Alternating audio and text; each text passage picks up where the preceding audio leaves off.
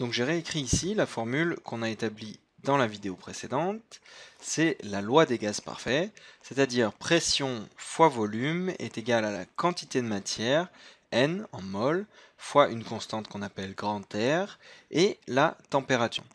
Donc la pression fois le volume est proportionnelle à la quantité de matière, également proportionnelle à la température.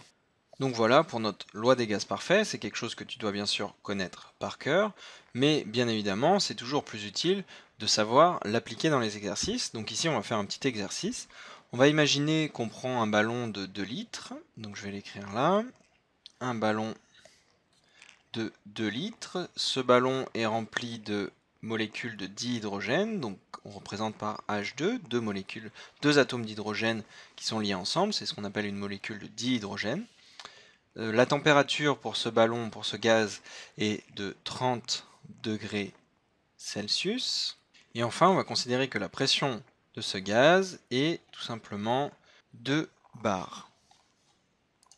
Et donc la question que je te pose à partir de ces données qu'on vient de détailler ici, c'est quelle est la quantité de matière de dihydrogène dans ce ballon? Combien de moles de, dihydrogène pardon, on a dans ce ballon?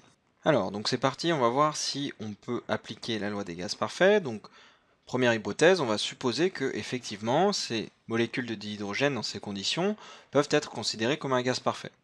Donc ensuite, pour appliquer cette formule, on va bien faire attention à utiliser les unités du système international. Donc la pression, on nous la donne ici, le volume de litres, on nous le donne ici, la quantité de matière, c'est ce qu'on cherche, petit n ici, R, c'est une constante, et la température, on nous la donne. Donc la pression déjà. La pression, P, c'est donc égal à 2 bars. Et 2 bars, c'est également 2 fois 10 puissance 5 pascal, PA.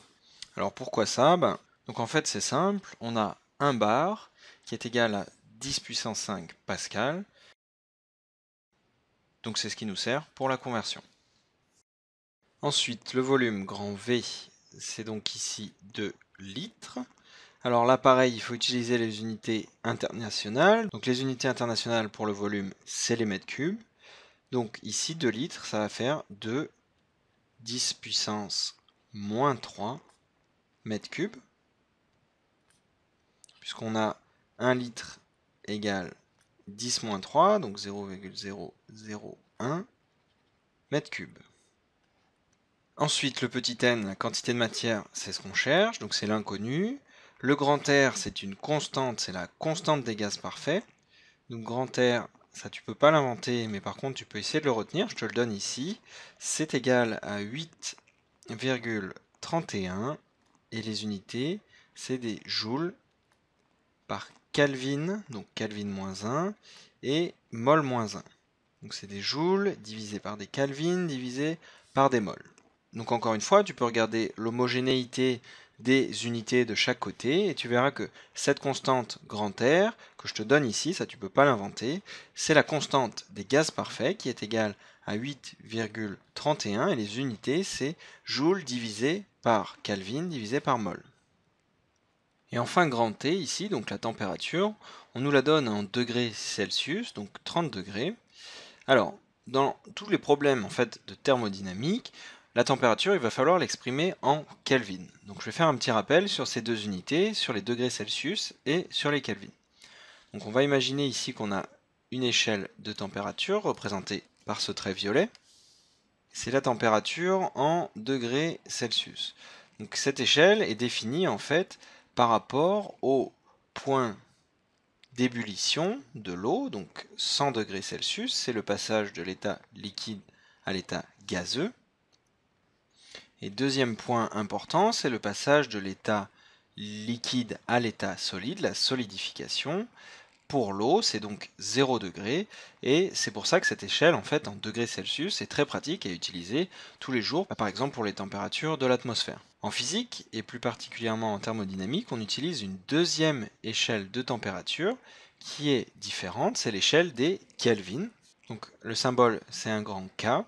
Et donc l'échelle des Kelvin commence à 0, c'est-à-dire qu'il n'y a pas de température négative en Kelvin, il y a des températures négatives en degrés Celsius, mais on ne peut pas descendre en dessous de 0 sur l'échelle des Kelvin.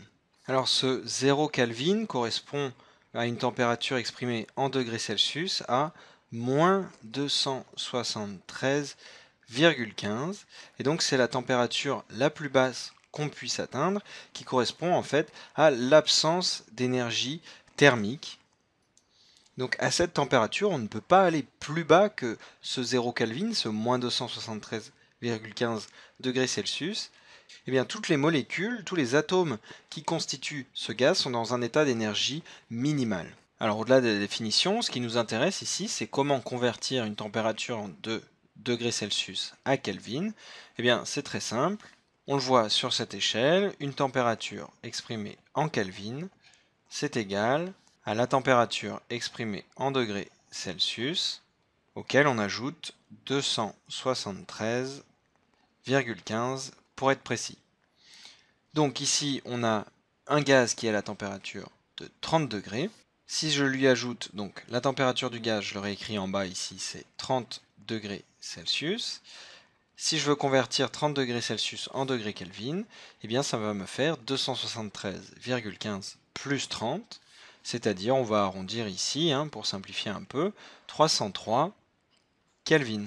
Alors, maintenant qu'on a toutes les données, on n'a plus qu'à faire l'application numérique, donc je descends un petit peu.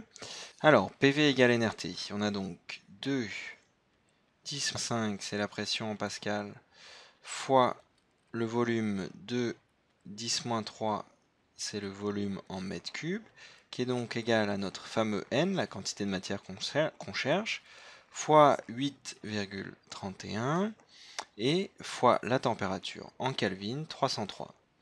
Donc si je réarrange cette expression, ça va nous donner que n est égal alors le membre de gauche, 2 fois 2 ça fait 4, 10 pardon, 10 puissance 5, ici c'est un plus.